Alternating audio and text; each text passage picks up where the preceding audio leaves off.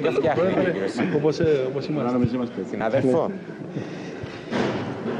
Ο, αυτή η εκλογική διαδικασία προσθέτει στον πολιτικό μας πολιτισμό στην συμμετοχική δημοκρατία και η συμμετοχή πρέπει να αυξηθεί και σήμερα αλλά η συμμετοχή του πολίτη πρέπει να είναι 365 μέρες το χρόνο γι' αυτό οφείλουμε και εμείς ως πολιτικοί να δημιουργήσουμε διαδραστικές μεθόδους και διαδικασίες ώστε ο πολίτης να ακούεται καθημερινώς και να παίρνει και την δική του ευθύνη.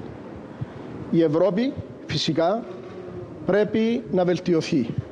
Πρέπει να γίνει η Ευρώπη της Ευρώπης και όχι η Ευρώπη κάποιων χωρών όπου αποσπασματικά δημιουργούν συνθήκες με δικές τους ατομικιστικές πολιτικές ώστε να μην υπάρχει η ενιαία προσέγγιση στα ζωτικά προβλήματα που υπάρχουν. Και πρέπει η Ευρώπη επιτέλους με ενιαία προσέγγιση να αρχίσει να αντιμετωπίζει τα σοβαρά προβλήματα, κλιματικές αλλαγές, ε, μεταναστευτικών, ε, την εργοδότηση, να μπει σε νέες εποχές ε, της τεχνολογίας ολόκληρη Ευρώπη με ενιαίες προσεγγίσεις και πολιτικές. Και τέλος να πω, οφείλουμε επιτέλους και στην Ευρώπη και στην Κύπρο να φέρουμε στο επίκεντρο της πολιτικής τα πραγματικά προβλήματα του κόσμου. Να αφήσουμε και τους λαϊκισμούς και τις επικοινωνιακές πολιτικές και να φέρουμε στο επίκεντρο της πολιτικής τη συζήτηση για αυτά που πρέπει να προσφέρουμε στους λαούς μας. Εξέφρασε ένα συνενετικό λόγο ο Πρόεδρος της το Βουλής. μήνυμα, Θανάση. Πάρα ο πολύ Νουφριέ. εύστοχο.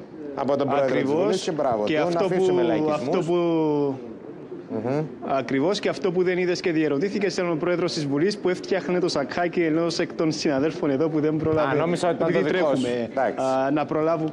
Όχι, δεν ήταν το δικό μου, ήταν Ναι. ο συναδέλφου. Του έφτιαξε τέλος πάντων το σακάκι. Πολύ ωραία. Το Προσέχει γιακά τα μύτια ο κύριος και, Σιλούδης. ε, Ναι. προχώρησε στις, προ, προχώρησε στις ε, τοποθετήσεις του. Μάλιστα. Το μήνυμα του ξεκάθαρο το ακούσαμε. δεν Θανάση, υπάρχει κρατάω λόγος να κάτι το πολύ, επαναλάβουμε. πολύ Ναι. σοβαρό και πολύ σημαντικό που ακούστηκε διαστόματος του κυρίου Σιλούρη. Συμμετοχική δημοκρατία. Αυτή, αυτό μάλλον είναι ένα παράδειγμα συμμετοχικής δημοκρατίας. Συμμετέχουμε στη δημοκρατία ψηφίζοντας και επιλέγοντας τους εκπροσώπους μας σήμερα στο Ευρωκοινοβούλιο. Αλλά αυτό θα πρέπει να επεκταθεί 365 ημέρες το χρόνο. Και αυτό ήταν το πιο εύστοχο.